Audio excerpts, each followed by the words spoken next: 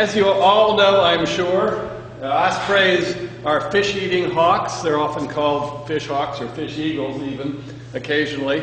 And they're very highly specialized on fish. They don't eat anything but fish. And they're one of, they're, they're sort of strangely, they're a strange raptor. They're extremely specialized to eat fish. But once, you're, once you get to the fish part, then they're not very specialized at all. So they're sort of a specialized generalist or general, generalized, um, generalized specialists or specialized generals.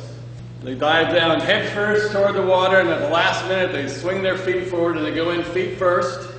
They can get into about, about a yard under, into the water. So the fish they, they catch have got to be up in the top meter or so of the water column. And these guys here are just, you don't have, we don't have the audio, but they're trying to remember, do they go in head first or do they go in feet first? And these are just some fishermen, and this is, this is all shot in Long Island. And that one missed. They're pretty efficient. Um, but, and they're amazing that, you know, that when you look at something in the water, it isn't where it seems to be. There's that refraction thing. So somehow young ospreys, when they're learning to hunt, somebody asked me in last night's lecture, how do parents, ospreys, teach their young to hunt? Now they don't. They simply provide the young with an allowance, basically. They keep feeding them while the young are out there following their own instinct. A mother duck doesn't teach its young to swim. She just takes it to the water, and the, and the ducklings learn to swim. Um, one of the things that ospreys will do, they'll get the fish head first underneath them, so it, it reduces the, the wing speed, the wind resistance. My favorite part of this is the way they shake when they're coming out of the water. And that's what this little series is all about. They get pretty, they're obviously wet. Can we uh, dim the lights? Does anyone know if there's a, oh, and then Sam, I'm going to need you up here on the, um, Okay. so this is great. There's one of these where it shakes so hard that they lose feathers.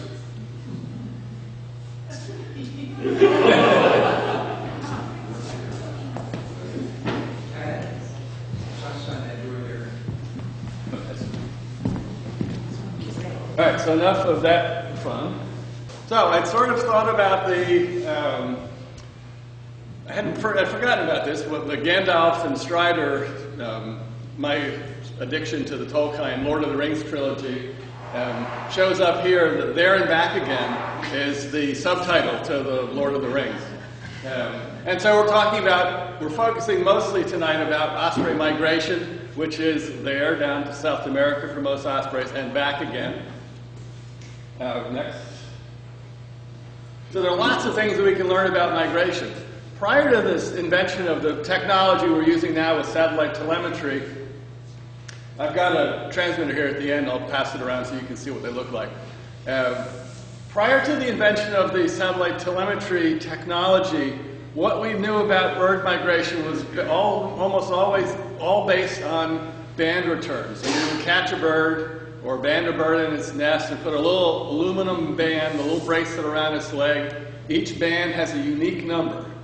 So, and we record, once we've banded all our birds for the season, we report to the bird banding lab in Patuxent, Maryland, give them all the information about each band number, what the species was, the age and the sex, and where we banded it and when we banded it. And then we just sit back and wait for someone to find that bird. And usually when a bird is found, especially with the large birds of prey, it's almost always because they're dead. So you sort of want to see your birds get band returns, but on the other hand, you, that means your bird is dead usually. So, but that tells us a lot of things about a bird. It tells us we know where it started, and we have a, we have a point A and a point B. But we don't have how did that bird get, what was the route it took to get from point A to point B. We don't know when it left point A. We don't know at point B if that's where it was going to, if this is down in South America, let's say, for an osprey. We don't know if that was where that bird was spending its winter or if it was only partway on its migration. So there's a lot we can tell from migration, from the banding data, but there's a lot we can't. And the things we can, now that we've got the satellite telemetry information, is we can tell the timing of the migration. We know when they start migration. We know if they stop for a while on the way south. Do they, do they have stopover periods going south? More so than on the return trip in the spring? Um, are there differences in age and sex between the routes they go? And this, we'll find out the answer to that is big time yes. we can start to figure out a bit about mortality.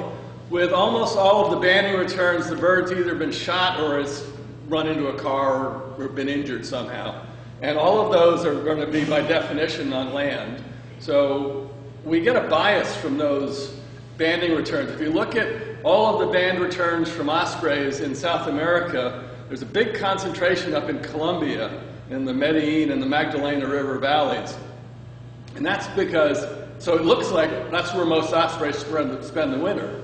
But what that really tells us is that's where the most people are. And so that's where ospreys are most often running into people, and enough of those encounters with people are fatal for the ospreys that we get a band return.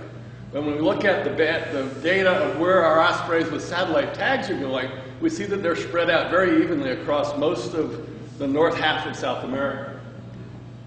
We can begin to get some clues about how birds navigate. This is one of the great mysteries of, of animal migration, is how does an osprey leaving Martha's Vineyard find its way 4,000 miles down the coast of the U.S., over the Caribbean, to a little section of the Rio Madeira in southern Amazonian Brazil, and then turn around and come back, and then the next year do it, this, repeat the same process. Because one of the th another thing we, we know from the satellite work that we can't tell from bands is that birds go back to the same spot every winter. They go the exact same ponds, and they're sometimes they're flying 4,000 miles their whole migratory route. And the information gives us a few clues about uh, conservation that we'll get to. So next, here's my study site. Come on. um, next. So um, that's what the transmitters look like. It's a little, uh, it weighs about an ounce, and the, an osprey weighs, female osprey weighs about four pounds, a male about three pounds. So there's a rule of thumb that we can't put anything on a bird that weighs more than 3% of the bird's body weight. And this is only an ounce on a four pound bird. So that doesn't seem to be an issue. There's about a six inch antenna that sticks up. So that little ray, and there's a solar panel. That black panel there is a solar panel that keeps the battery charged. We have right now, we have uh, two birds that have been transmitting for four years. Um, transmitters are expensive. They cost $4,000 each. We put them on, uh, so they're in my little backpack in the next slide. We, there are two straps come over the wings and two straps come under the wings. Where, they, where those four straps cross on the breast, I stitch them together. And what you see there is a little cardboard template that holds the straps in place for me. And, and I can adjust the tension just right. Uh, and then I stitch the straps together, and then all of that is cut away. And so um, that all comes, the bird doesn't leave with that when it heads south. Next. So some nests are harder to get to than others. Um, I like the one on the left. The one on the right, that's a 20 foot ladder. And then I had to use my spurs to go the next 20 feet. Well, I just I, right after this picture was taken, the rope on my belt slipped off. I didn't tie a good knot. So I had to go back down to the ladder. Someone walked the rope up to me. I went back up to the nest only to discover that the young had already left. And so I was not in a good mood on the drive home after that adventure or misadventure. Next. So how do we catch the birds? Here's the answer to the question from dinner. Uh, we put a cage of some sort over the nest, and with adults we do it while they're on eggs. And the, the cage is covered with little slip knots tied out of fishing line. And it's sort of like the Chinese finger tricks. The tighter you pull, the more you pull, the tighter it gets. Well, the same thing happens. The ospreys want to get back on their eggs. They walk along that little trap, and they get their toes into the nooses. And when they pull their foot back, the noose tightens up on their toe and they can't get away. Next. For the young birds, we use, uh, take fish. So I've, in my, that plastic bag, I've got a couple of menhaden, which ospreys love. It's their favorite food. And I've got a piece of wire there. It's just a piece of two by two sort of galvanized chicken wire with rubber coated. And that's all covered with a little slip knots. Next. So we put the fish in the nest and then tie that noose carpet over the, over the fish. And the young come back to get because they want to get the fish, and they get caught in the um, trap, and they get instead of the fish, they get a radio transmitter. Next. So when I get to the nest, we put a hood on the birds' heads, and that calms them right down. Occasionally we get two birds, and when I get, it, and ospreys have about a five foot wingspan. So when you get up to the top, back into the nest, and there are two ospreys flat flailing around um, it can get pretty chaotic, and putting the hoods on the birds' heads really helps.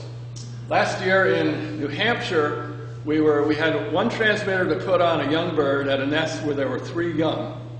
And we had, the year before, we had tagged the adult bird at that nest. That bird was named Art. And we really wanted to get Art's transmitter back because he had flown to Brazil and back, and we didn't need for him to carry that transmitter anymore. So we thought in sort of the best case scenario, with three young, I knew I would catch one of them. We thought, well, maybe we'll get lucky and catch Art, and if we catch Art, we'll take his radio off, and then we'll try to catch another young, and we could put Art's radio on one of his offspring. So we set up the trap, and about 15 minutes later, there were three young flying around the nest, all hungry as could be. And about 15 minutes after we set up, Art came in with a great big trout. And as he flew toward the nest, one of the young saw Dad coming in with the fish, and he wanted to be first in the nest. So he flew right up to the nest, and I think he was looking back at Dad when he landed because he didn't even see the trap. And then, so he landed, and then Art came in with his fish, and he was tired of carrying that big trap, so he just plopped down on the nest and trap. And then one of the other young wanted to, didn't want to miss out on breakfast, so he flew in, and within about five minutes, we had all three of them trapped in the nest. And that was really chaotic. So I went, and this was a little bucket truck affair. Um, and we wound up about 25 minutes after setting the trap, walking away with three ospreys under our arms. And we took Art's transmitter off, and we gave it to one of his young male offspring, whom we, someone said, well, it's called Art Jr. I said, no, how about R2? so, so Art 2 is, is now down on the Amazon River after successfully migrating south this uh, last fall. Next.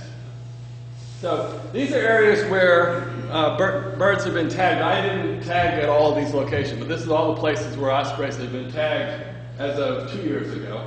Um, someone may ask about hacked, what are hacked juveniles? Hacking is the process where you release, take young birds that were born someplace, and you release them at, in the case of ospreys, at a, a new reservoir where you want to get an osprey population built up. One of the things about ospreys is males very rarely nest more than about 15 miles from where they were born. Females wander, males don't. And that's nature's way of keeping the gene pool mixed up. And mo most animals have that kind of an arrangement where one sex goes far from home and the other doesn't. That, the fancy term for that is philopatry, where they, they like being where they were born. So what that means in ospreys is if you've got a new reservoir that you think would be great osprey habitat, if it's more than about 20 or 30 miles from some place where ospreys are nesting, female ospreys are going to find that reservoir, but it's really unlikely that males will.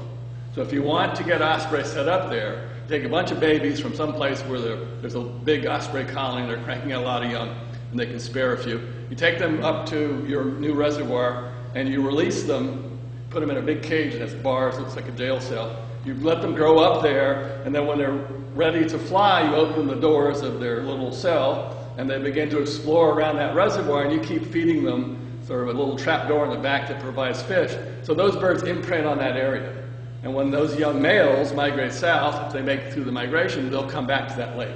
So that's what hacking means. Next.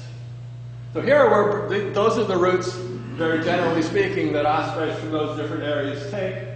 The Pacific Northwest birds mostly winter in Mexico and Central America. Very few make it all the way to South America.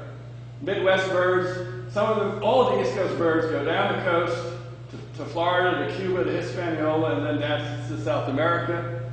90% of the ospreys in the East Coast winter in uh, South America. A few winter in Cuba. Very few in the islands, but a few, very few do. Um, that the line out over the Atlantic, we're going to more on that later. The Midwest birds, some of them join the East Coast flyway, the, we call it the highway to the tropics, Florida, Cuba, Hispaniola.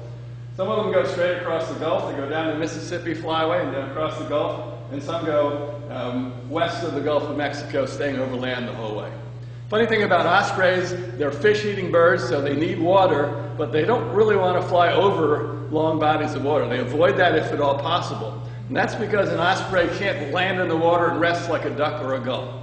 So if an osprey's out over open water and they fly into really bad weather, they could be in serious trouble. And more on that next. So, um, going to skip over the next two. These were, I just gave this talk three times in Rhode Island. Go ahead on the next, and next, and next. Okay, now those were in for the Rhode Island audience down in Jamestown. Um, but we're going to, all, all of that information will be in future slides anyway. So, how do birds find their way from point A to point B? Well, one way you might expect them to do it, which would be the way we would find our way from point A to point B, as long, assuming we don't have our GPS navigator turned on, is you go by landmarks. You have a route memorized. So to get home, you know that you go to one intersection, you take a right, you go to the next intersection, take a left, and you find your way home by a, a memorized route of land, following landmarks. Well, ospreys clearly don't do that. Here's the track of, two, of one bird, North Fork Bob, banded on the North Fork of Long Island. Uh, in 2010, he flew down the coast overland. When he came out of New York, uh, the wind in 2010, that, that particular day, was out of the east. And ospreys, when they're heading south, they just go with the flow. They, they know exactly where they're going to go, but does, they don't have to follow the same route every year. So if the wind's out of the east, they drift west. They go with the flow. And, this, and they'll often go west of, it, of Delaware and Chesapeake Bays, right over D.C., down the coast, and down to Florida, and then on. If, so in the next year, in 2011, when Bob was coming out of New, over New York City, the wind was out of the west, and so he went with the flow, and, he, and it pushed him all the way to the Jersey beach, the coast, and he went down the coast, and then went over Cape May, and followed his way down to the Outer Banks, where there are a bunch of peninsulas in the Outer Banks. The rule in osprey migration that they follow is basically go south and stay over land if at all possible. And if you can't stay over land because you've run into a peninsula, then you just go over water. So a lot of the, the adults, when they get to the Outer Banks of North Carolina, will do it. That's about a 500 mile trip over the Georgia Bight from the Outer Banks to the eastern coast of coast of Florida. Next. So here is, uh, this is Bob again. And here we see in fall of 2010, which was the first year we had followed his migration. So, and he was tagged as an adult, so we don't know how many years he'd done this before or what path he took before. But in 2010, you see the green line out to the east, uh, as he was coming off of Hispaniola, uh, Haiti and the Dominican Republic, he was, uh, the wind was obviously out of the east, out of the west rather, and blew him east. So he landed in Venezuela and found his way over the Andes. There's a ridge of the Andes that comes right up here.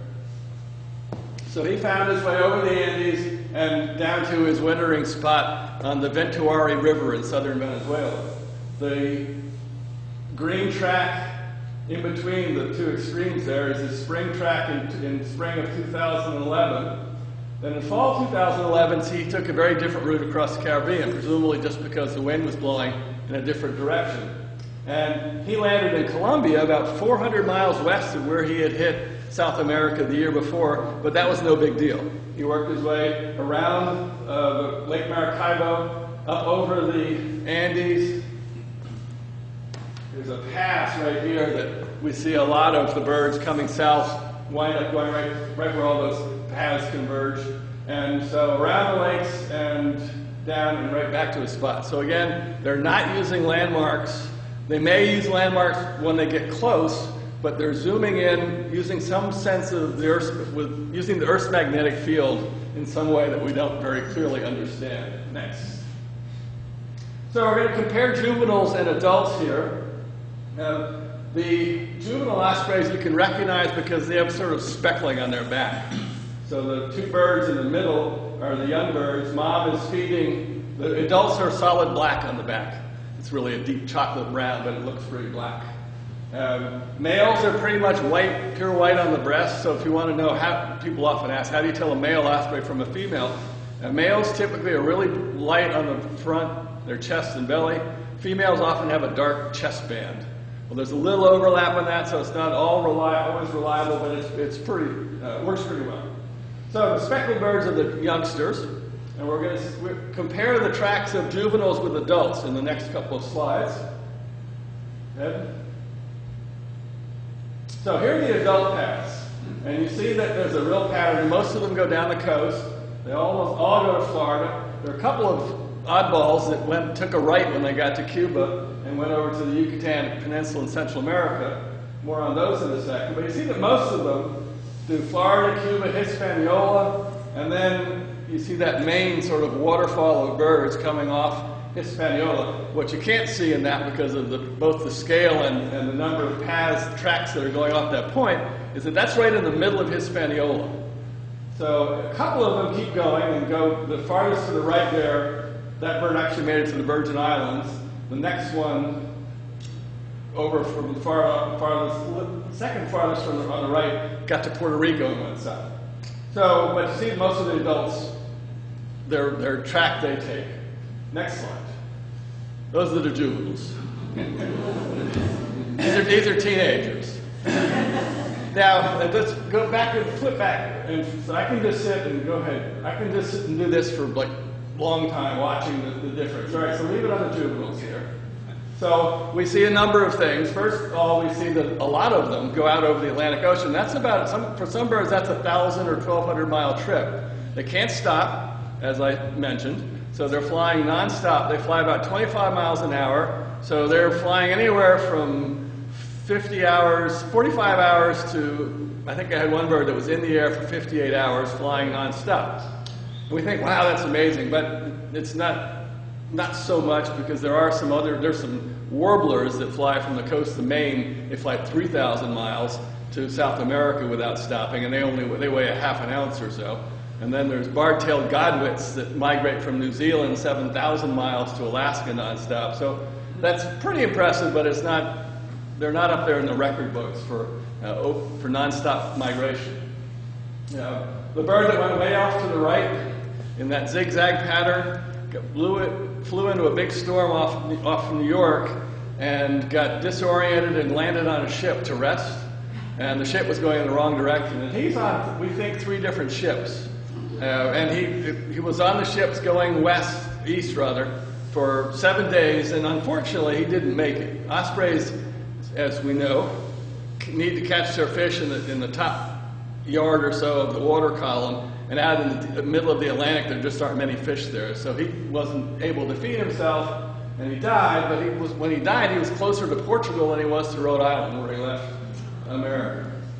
So then we see a bird that goes up to the north and west. That's the bird on Martha's Vineyard who made it all the way to Lake Superior and spent about two months there before she went south.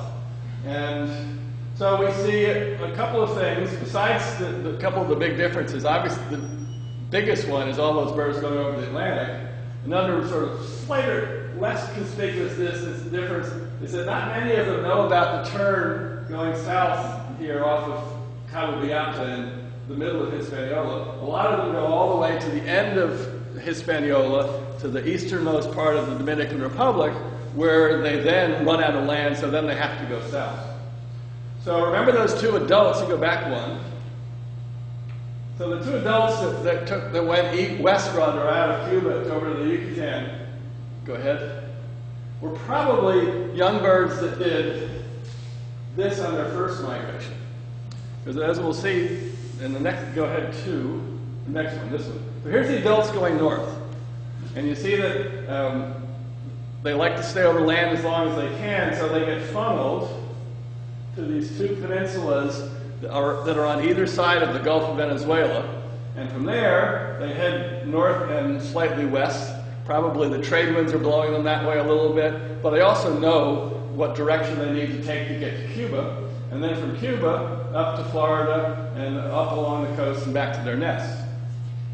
That's a very tightly, uh, a rather tight migration front, meaning these birds are, they're in a rush to get home. They're, Birds migrating south are in no rush to get anywhere. There's no pr premium on getting to South America before uh, anybody else. In the spring, there's a big premium on getting back to your nest early because if you don't, someone might take, try to take over your nest. And if you're an old codger and some young whippersnapper arrives in your nest before you get there, you may have a hard time displacing him. So we see that also in the juveniles heading north in the spring in the next slide. And we see the same kind of thing we saw in the fall, where the juveniles don't really know what they're doing. Some of them go out over the water, some of them miss the turn to get up to Florida. So I think in the middle of Cuba, there's a big sign that says Ospreys turn right for Florida. Well, those two juveniles were texting when they went past that sign. they missed the exit. So instead of going 90 miles across the Florida Straits from Cuba to the Keys, those two birds, the bird on the left did 600 miles of open water across the Gulf of Mexico. Uh, and then the cool thing about that is that once he got to Alabama, which added a new state for where my ospreys have been, um, so that's always fun to sort of keep track of that. Uh, when he got to Alabama, he was 600 miles west of any place he had ever been. And I know every place he's been because he's been wearing a transmitter since he left his nest. And so he's way far west, and he knew that, and he corrected for it. And look, he's going almost due east as he's going through the Carolinas. So somehow bird, birds do a lot of do their navigation, their orientation in a number of ways. They use the obvious. They have a sort of a, a checklist of things they use, and the obvious is landmarks. So if they're close enough to home, they can see something they recognize. They use that. They can't use landmarks if you take them out in a, in a van and take your homing pigeons and let them go someplace where they haven't been before. They can use a number of senses. They'll use the, they have an internal clock so they can use the sun as a compass. They know in the morning that the sun is in the east, and in the afternoon it's in the west. They know they can sense there's some pigments in their eyes that are called cryptochromes, and they can use those to actually see the Earth's magnetic field. So for an osprey, for a bird, look, the sky in the north and the south looks different than it does in the east and the west. They also that, that gives them north and north and south, and that's obviously essential in, in migration and orientation. But what we don't really understand well is how they tell east from west. So how did that bird know that he was too far west? Well, they have another magnetic sense in sensory system that's actually based in their lower bill. And they have crystals of iron called magnetite, which line up in X, Y, Z right angle planes and there are that they react to the Earth's magnetic field. And the Earth's magnetic field from one place to the other is very different, can be very different. So there are songbirds in Europe and the Netherlands that are genetically programmed to recognize the Earth's magnetic field in Spain. And when they sense that, they take, they've been going from the Netherlands southwest to Spain. When they get to Spain, if they kept going in that direction, they die over the Atlantic. So they have to turn right there. And they know to turn right because the magnetic field of Spain triggers something in their brain that says, oh, time to go southeast instead of southwest.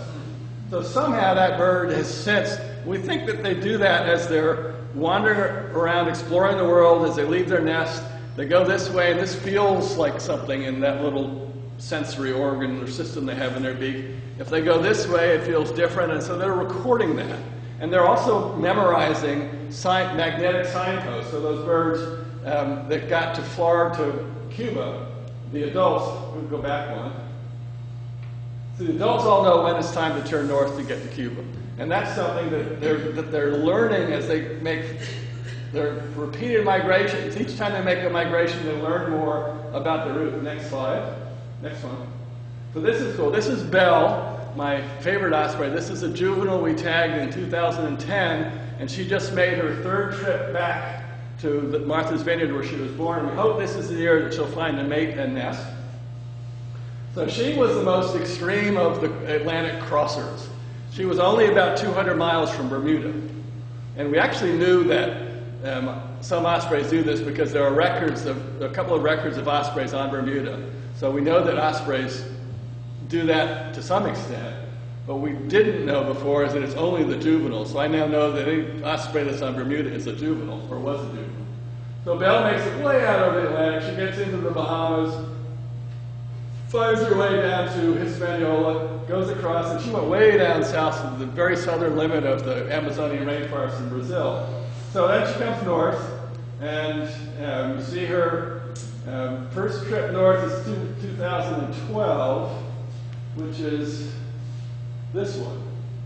So she got here to Hispaniola and she, she didn't, this was the way, she was just going to repeat her path from the first trip. That's where she would have gone. But she gets here and she sees the Bahamas. And so she sort of island hops up through the Bahamas and she finds Florida, goes up the coast, gets back home and finds her parents and said, Why didn't you tell me I didn't have to fly over a thousand miles of the Atlantic to get to South America? So she now knows that she doesn't have to do that Atlantic thing again. So in 2012, in the fall of 2012, when she's coming south, she goes down the coast and she went out over the Bahamas again. Um, no, she's 2000, sorry, this is the 2012 track. So she took off, and she didn't know she could get to Florida. She hasn't been there yet. So she comes down, does the same thing, gets better. She comes back in 2013. She's done a little better. She gets to Cuba, comes up here, and she turns a little early, so she went across more water than she had to. But now she sort of got a sense of it. She comes back down in 2013, and she's getting closer to the adult track. 2014, she's finally figured it out. She comes back in following the, the path that all of the adults do. So it's really cool to see this one bird, how she learns the migration, migratory route, more or, more or less by trial and error, and by following the, the simple rules of go south in the, in the fall and stay over land if you can. If you can't, just go over water. And in the spring, go north and stay over land. And following those, that little paradigm or algorithm, that you eventually, after a couple of years of migrating north and south, they discover this the safest route. It's not the shortest route, but it's the safest route. Next. So the juvenile, when the juveniles come home, how do they find their way around? The next slide. Remember, the males typically nest close to home. So this is the male coming back. Snowy is a male we tagged in juvenile as a youngster in 2011. And he went down to, to, in his first year, he went to Venezuela, spent 18 months down there. The juveniles, when they go down in the fall, in their first fall, the next spring when all the adults are coming home, the juveniles stay down for an extra year. They do a gap year down. So they, they do 18 months down south. They're not going to breed till they're two or three years old anyway, so that they all got together one spring and, and said, Who wants to go 3,000 miles north to do nothing? And nobody raised their wings, so they said, Okay, we'll all stay here. So that's a little bit facetious, but evolutionarily, that's what happened. Migration, as we'll see, is a very dangerous business, and there's no reason to risk a, a full migration cycle of six to seven or 8,000 miles if you're not going to do anything. And they're not going to breed till they're two or three or four anyway. So they missed that first migration north. So here is Snowy, who came back from Venezuela in 2013 in the spring, and he did go up to Boston um, yinged around a little bit just south of Boston, but then he went back to, his home in Martha's Vineyard and sort of commuted back and forth between, between Cape Cod and Martha's Vineyard. The next slide shows Penelope, a female who was tagged in 2008. And this, so this is her first trip north after her 18 months down in South America. So she got almost home to here, and then turned around and went up into Massachusetts, and she came up into New Hampshire, Finally, on the 24th of July, sort of out of the blue, she left New Hampshire and spent two days and went straight back to Martha's Vineyard. She went right back to her nest. I think it was her high school reunion. She must have gotten a little notice in the mail. So she went back for about two or three days and went back to the pond where she learned how to fish and then turned around and went back up to New Hampshire. And she was back and forth between a couple of ponds in New Hampshire. And we're pretty sure, had she survived her next migration cycle, which she didn't, um, that she would have gone up there, and that's where she would have nested. Next. There's a bird that had a little bit of navigational issues. so he arrived, uh, this is a buck who was tagged in 2009 in South Carolina. The yellow path is his track as he left in the, in the late summer, early, early fall of 2009. Then in 2011, he's coming back he found the coast of North Carolina on the 26th of April, he was only about 150 miles east of his nest, and he missed the turn big time. So that track follows all of his movement between April 26th and August 13th when he finally got home. I calculated, I figured every place he spent the night, and I calculated the distance from roost to roost. He flew 8,413 miles roost to roost before finding his nest. And his migration, his whole migration back from South America, I think was like 2,500 miles. So he had serious trouble. Next slide. He crossed the Pennsylvania border 11 times. I think my, I, this is total speculation, but it seems to me that there was something that confused his magnetic receptors about in Virginia and North Carolina. I thought that little end run on the 2nd of July that he made through western Pennsylvania might, got him, might have gotten him around the problem, but that wasn't his last trip south. He, he got confused, made it north, and he eventually made it back to home, but it took him 8,400 miles and about three months to do it. Next. So how about juvenile mortality? There's very high mortality in all wildlife in that the first year is a tough one. That's when the natural selection sort of sorts out the wheat from the chaff. And so you have, if you survive that first year, you've been through all the things that are going to happen to you. You've learned how to hunt. I say that you've learned how to fly. Well, that's the easy part. It turns out that landing is the hard part. I've watched a number of ospreys make their first flight, and when they do that, it, it's amazing. It looks like they've been flying forever. And then you see them make their first landing, and you go, oh, maybe that's the hard part. We lost the bird in New Hampshire the, a couple of days after he left, left his nest because he missed the landing on a big high power line, uh, tower, and sort of parachuted down into some thick brush and couldn't get back up out of it, and a coyote or something got him that night. So, this is when natural selection sorts out the, the birds that are in the shallow end of the gene pool from the ones that aren't. And there's a pretty high mortality rate. So, our, for our satellite tag birds, it's about 71%. This is data through 2011. And it turns out that it's not mostly during migration. A lot of the birds make it through the southbound migration, and then we see a lot of mortality when they're on the wintering grounds. Uh, next. So these, it's hard to tell the colors apart, but there's the, uh, if you're up close, the, the oranger little balloons with an M on them are birds that were lost while they were migrating. See, we only lost four birds that before they migrated, the little blue circles up top. And the redder balloons, if you can distinguish, with W's if you're the front, and those are birds that actually settle down to winter. And we lose a lot of those birds. In the next slide, we see where do we lose, where's the mortality, what of all the birds we've lost, this is a percentage, of all the birds we've lost during in adults and juveniles, at which stage in the annual cycle do we lose them? And you see the, the big, the glaring difference there in the adults is go, it's the migration going south, very little mortality going north, and you see that uh, mortality for the adults is very low in the winter, and it's quite high for the juveniles. So what's that all about? Next. Well, this is why there's that high mortality going south in the, in the migration going south. Unfortunately for ospreys, their southbound migration co- corresponds exactly with the hurricane season.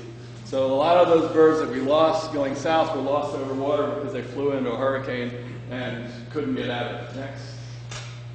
So how about the juvenile? What's, what's the deal with those, that high mortality of the juveniles? This is one of the juveniles from a Delaware bird, and the area that he's covered during his winter, uh, it's 18 months down in South America, is 450 square miles. In the next slide, we see an adult from Nantucket, Senior Bones, who spent his whole five months in South America in an area of only six square miles. So the deal about the adults is that they're going back to a place that's safe. And we know it's safe because they've survived previous winters there, and they're hardly moving at all. We had one bird that spent five months in an area of a quarter square mile. He found some big lake that was, or some small lake, that was chocker block full of fish. And I was worried about him when it was time for him to migrate north because I thought he hadn't exercised all winter and he was going to be out of shape. but he made it. Um, but that's the deal. The adults are finding a spot that's safe, and they're staying there for five months, and then they go north. Uh, the juveniles find a spot they like, and they're just like teenagers with their first driver's license. They go on big road trips. They're looking for a better place. They found one spot, and who knows if that's going to be a really good one. So for the first three or four months while they're down there, they do a lot of wandering. Next. So I'm going to take over the controls here. So I have a website where you can look at follow these ospreys. Um, it's called Osprey Tracks. Pretty easy to remember.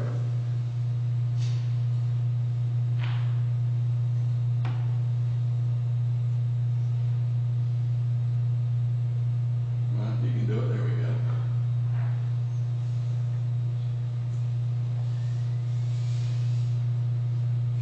so we, you can set up races.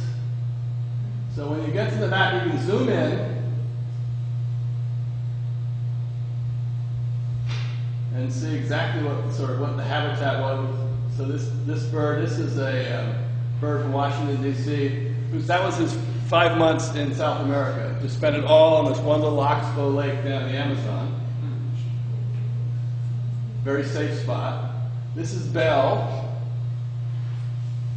So the fun thing about this is you can take one bird and move it along its path. Right, we're going to we're going to start with. So the yellow bird, this bird is going back to New Hampshire.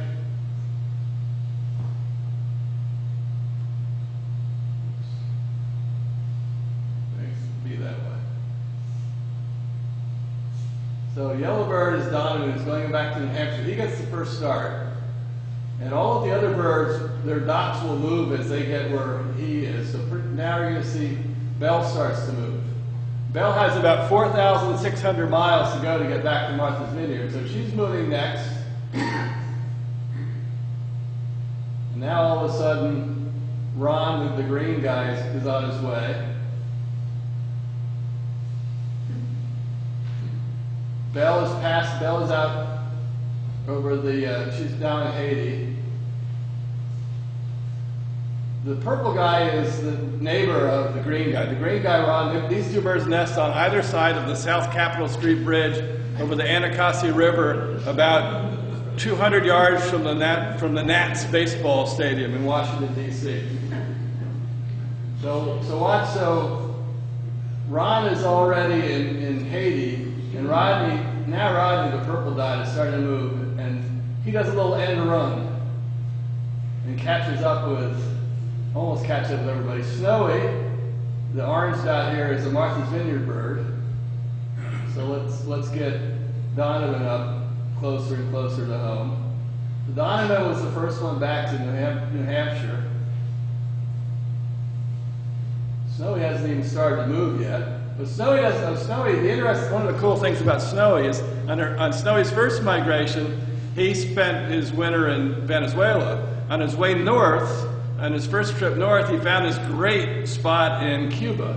That's just a real fishy osprey heaven spot. On his second trip south, we we completely expected him to go all the way to Venezuela, back to where he'd spent his first 18 months down south. Well, he got to that spot in Cuba, and he bang, actually had to backtrack to get to it and spend his five months there. So, pretty smart cookie. He skipped the whole Caribbean thing. So if we follow Bell, see that everybody, there's a traffic jam here in Cuba. Bell and Bell is heading to Martha's Vineyard. The green dot Ron is heading to. This is like the, at the stadium when you're betting on things that are going around the move. So this was really interesting. Bell and and Ron, the green dot, were moving almost the exact same distance every day. They started the same time. They finished about the same distance. And here, They probably saw each other. They were two miles apart right here, and then their paths crossed about 10 minutes later. So it's likely that, they, that these two birds I tagged, one on Martha's Vineyard and one in D.C., actually bumped into each other.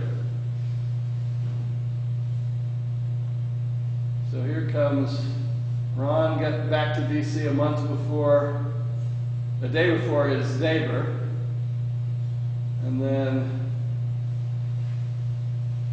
Finally, uh, and just a couple of days ago, on April 10th through the 12th, my last four birds got home.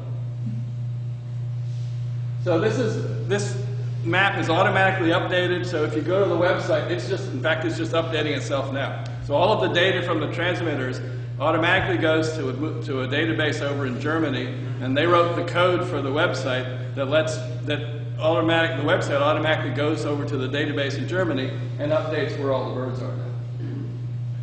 So, um, and if you if you go to the website, if you click on this, you can subscribe. And I send out e email updates every once in a while. When the birds are doing interesting things, I just send out a little email blurb to 900 or so people who have signed up. Okay, so now we're going back. Sam's going to take over the control again.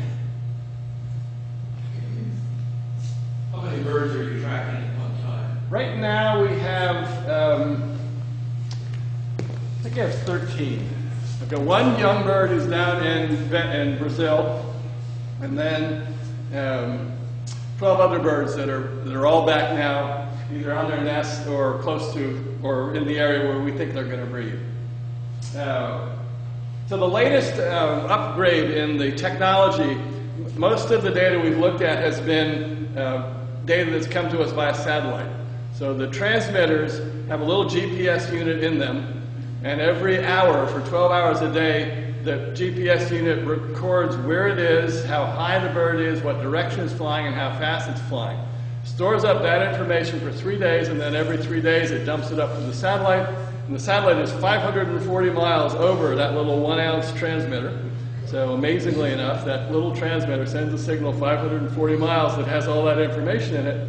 And that's a hard thing for the radio to do. So it can't send a lot of information. So we only get those, we get every three days we get 36 data points for where the bird was. We're now using transmitters that talk to us via cell towers. And those, the radio only has to send a signal about 10 miles or 15 miles. And so we get a ton of data. If you measure data, it would be tons. Uh, we have one bird now that I think I have 80,000 data points for.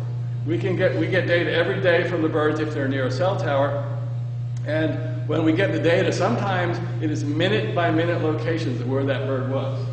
So now we can find really cool, we can answer really neat questions about what's the home range, how far are the birds going from their nest, and um, how are there seasonal changes in where they're hunting, and individual differences in where they're hunting. So next shot.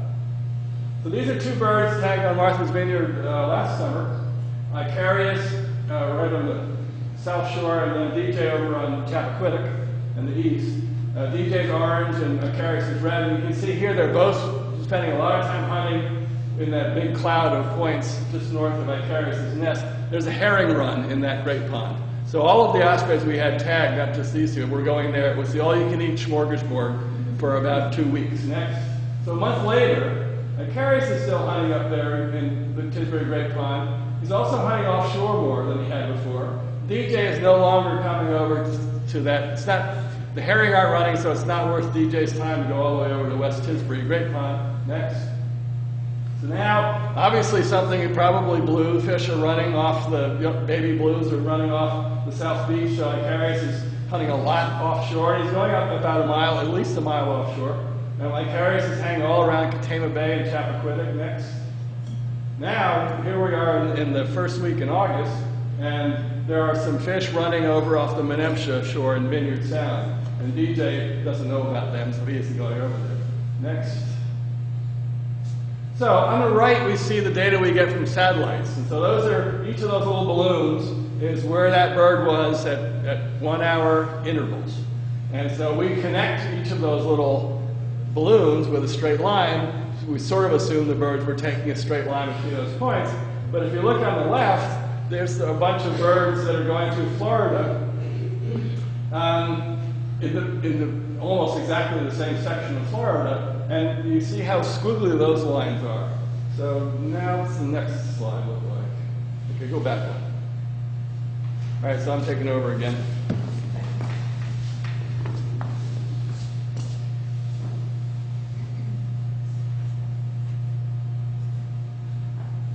So this, this is really cool. So we can now follow our birds. So those little dots are shows how high above the land the bird was. The orange track is where the bird was, was looking straight down. So now you'll see the bird is coasting down, coasting down. And then he goes shooting up. And he's going up in a thermal. So a lot when birds, when large birds are prey migrating during the daytime, because they like to use thermal. So he found some hot air there, and he went straight up.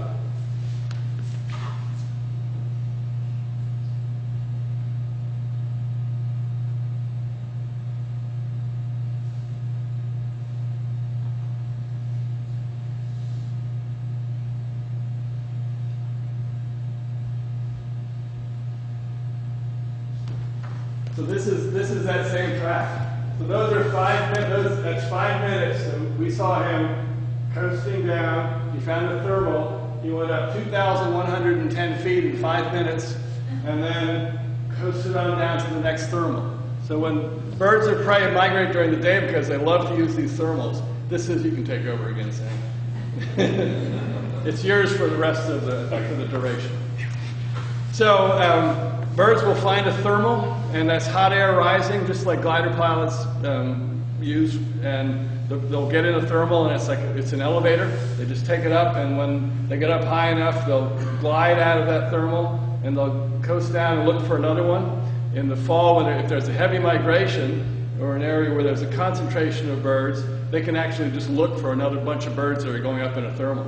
So somehow they either see or sense the thermals, and they go take a ride up, they glide down, they take a ride up, and they glide down. They can fly for miles and miles without flapping their wings. It's a really almost effortless way to migrate. Next.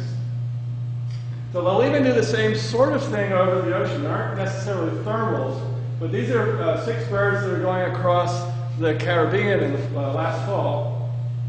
And you see that those lines are all squiggly, especially the black one right in the middle. If we go to the next slide, we'll see what he's doing. So he's doing what's called dynamic soaring. So the wind is out of the west, and you see him gliding down, and then each of those spots is about a minute apart. So you see he's going pretty fast, and then when he takes that turn to the right, he's climbing. He's going, he goes up uh, 200 meters, so that's 600 feet. He climbs up into the wind. Notice that the dots are closer together, so he's going more slowly. And then he gets up, he climbs up, so he goes into the wind and climbs up and then turns and glides down goes into the wind and turns and glides and goes down. So that's dyna- called dynamic soaring. And it's an energy efficient way to get across um, large bodies of water when there is uh, when there aren't really, really good thermals going out that they can ride. Next. So we can actually, this is cool. This is one of the same birds. This is Icarius that we saw feeding, feeding up on the vineyard. I remember he was going out over the ocean. So here comes Icarius coming along. This is uh, the Guyana coast in, in eastern South America. We see him come out to the shore, and he goes out over the water, and he's poking along, poking along, and we, he caught a fish here.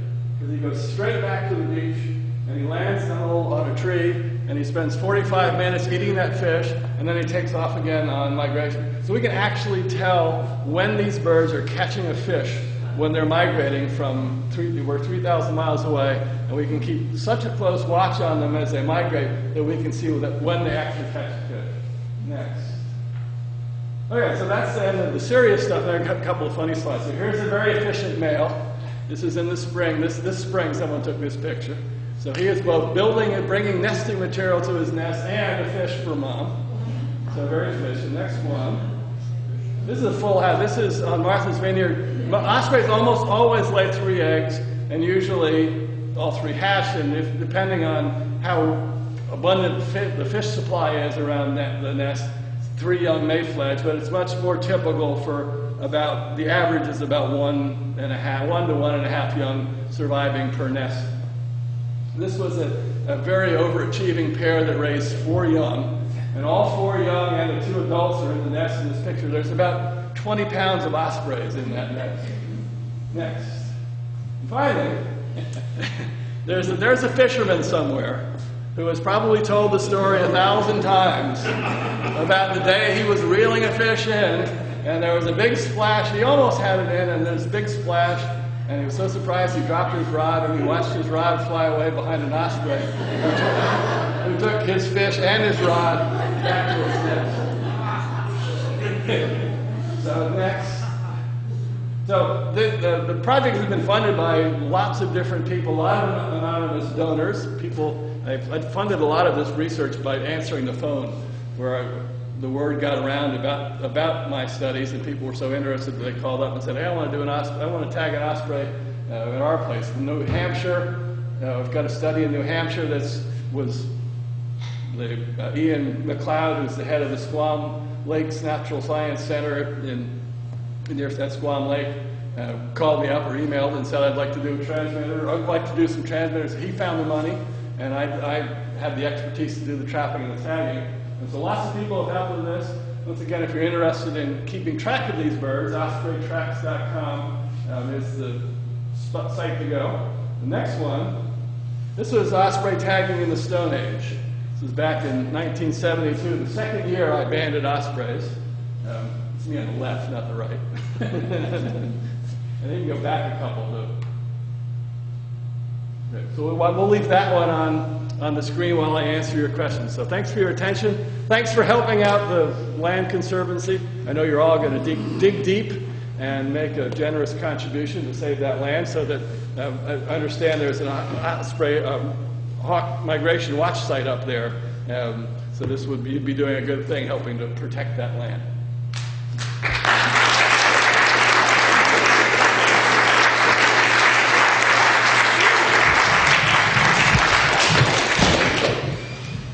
Thanks very much. I'm interested in the dynamics of the winter site selection. And given what you said about the bird in Cuba, these things seem to be reasonably opportunistic. Is, do you have any tighter feeling than that about how they end up selecting the wintering ground to which they return so faithfully each year? I've seen that happen with the juveniles, and that's um, prior to my work. Almost no one had tagged juvenile ospreys, and that's for two reasons. First, the, the transmitters cost about four thousand dollars, and then uh, we knew everybody knows that there's this very high mortality in the juveniles. So very few people had wanted to risk eight, four thousand dollars on a bird that might die in the bay a month after it started to fly.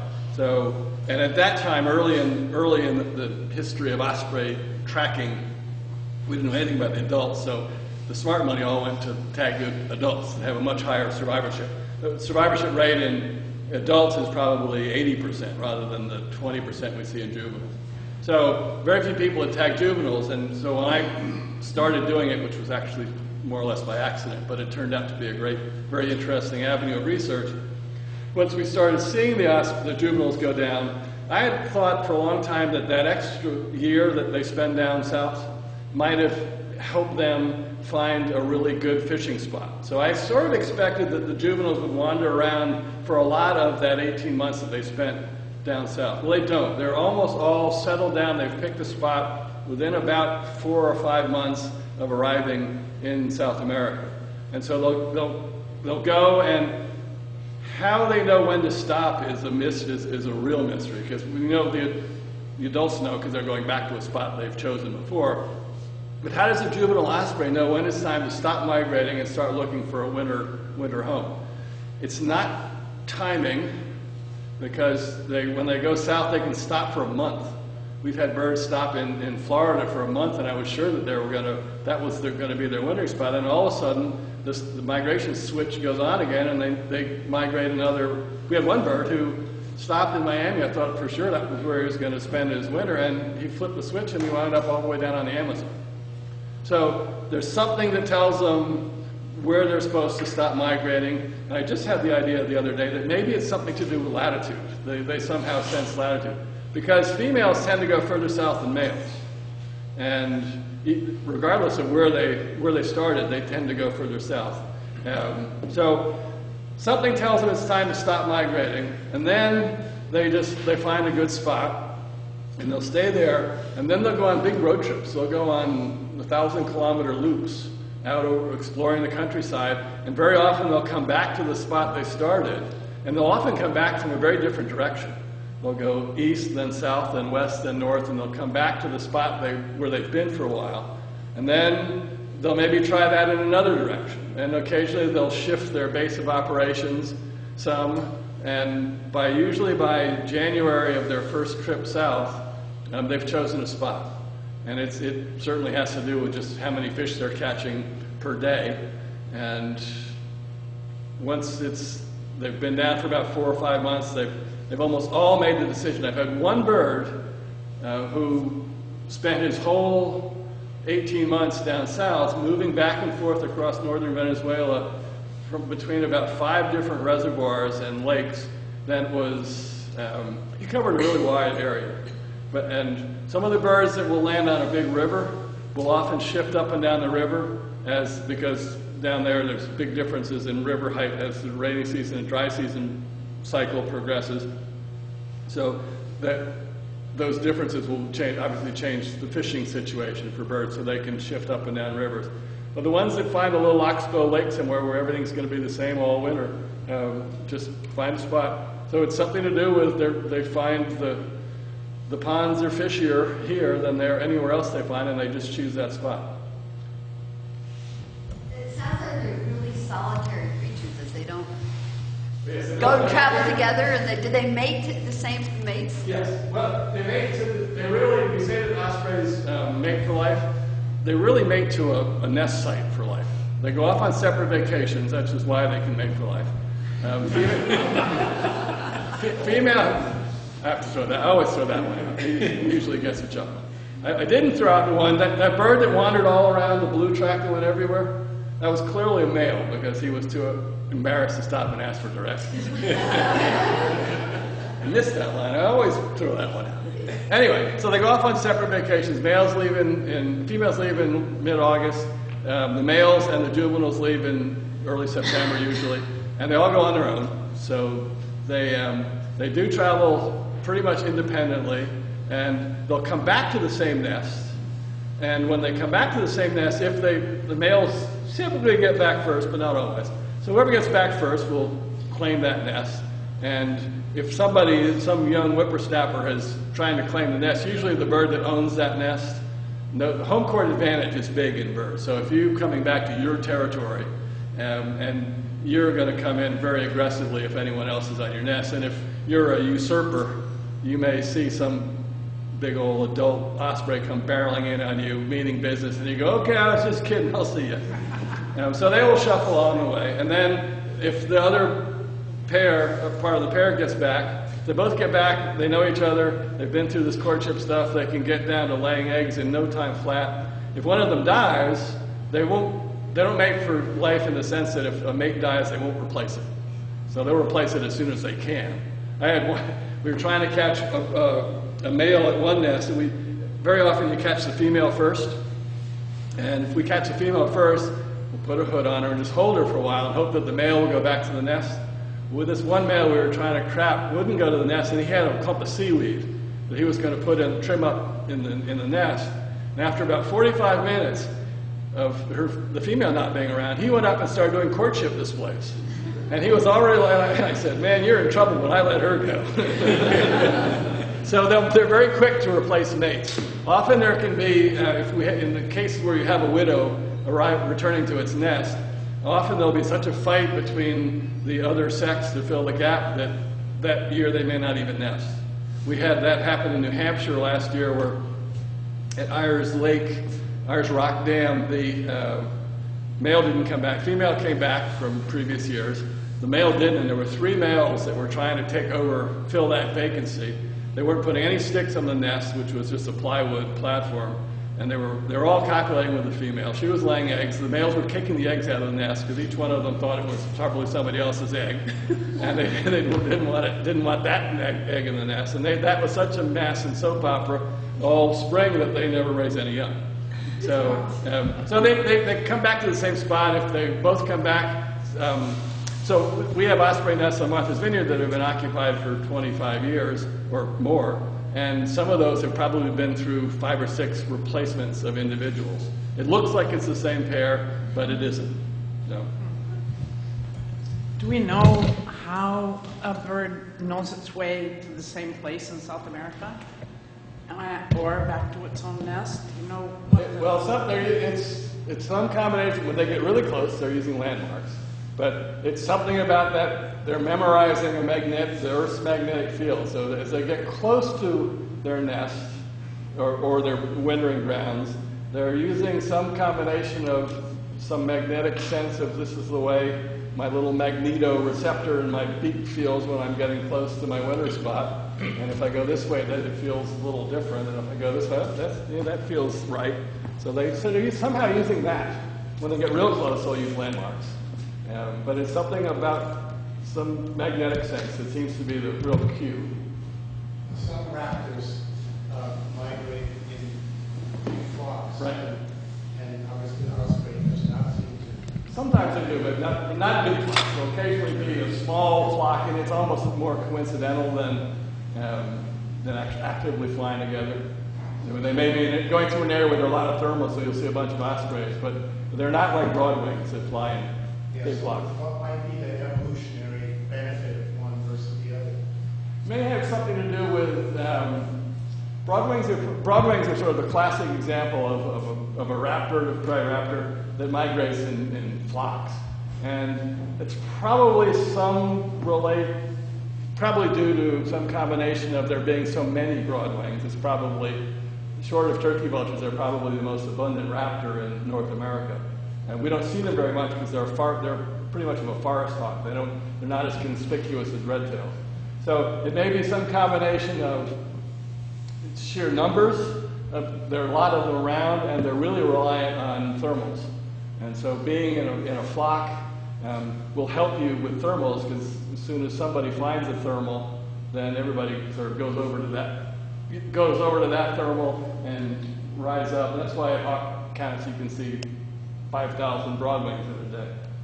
Um, when you have uh, a pair that both survive the winter and one arrives first, how long will she or he wait before um, they give up on the, the other mate? Uh, probably no, the, as soon as they get back, they'll start, the male, males will start displaying. As soon as if the male gets back first, he'll just start displaying. He's not going to wait for his wife to come home. No, he'll just start displaying because he can't. He doesn't know she's going to come home. Right. He can't count on her coming home. So he's going to start to display as soon as he gets home. And then if a new female comes in, that if a, another female gets there before his mate from last year, he'll, he may go through courtship with her. And then if the next day her, the, the regular female, the real owner of that nest comes in, then she's likely to chase off the young hussy and he'll have a little bit of explaining to do, but not too much. How do you get up on the nests? Um, ladders, sometimes climbing spurs, uh, sometimes bucket trucks. But the platform is how wide, and so I put the ladder, so we put the ladder on right on the edge of the platform. that one looks a little tall. Oh, well, I don't know. Uh, that, that nest, I don't know where that, frankly, I don't know where that nest is. Someday I'm going to show this picture and someone's going to say, hey, I took that picture. I stole this off the internet.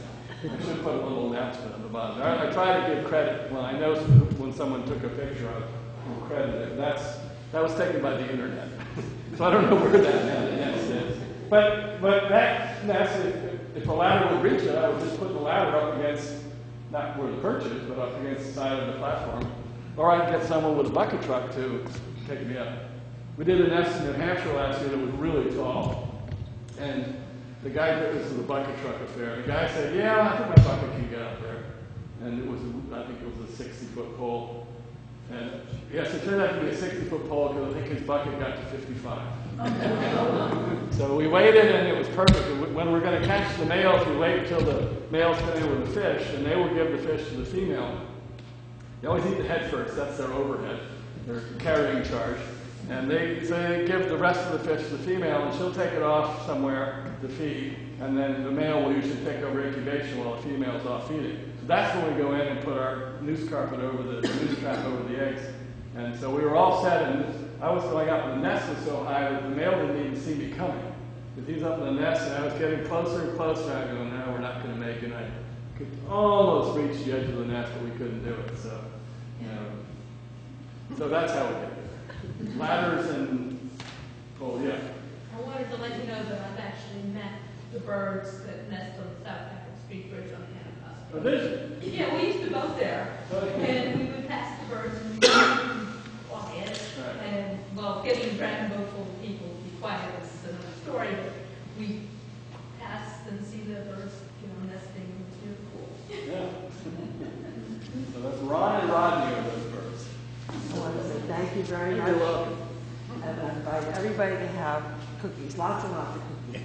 And we also would like to have you have a Putney Mountain hat. Oh, excellent. I hope that the bird doesn't catch it. Thank you so much for coming. Thank out. you. It's your time.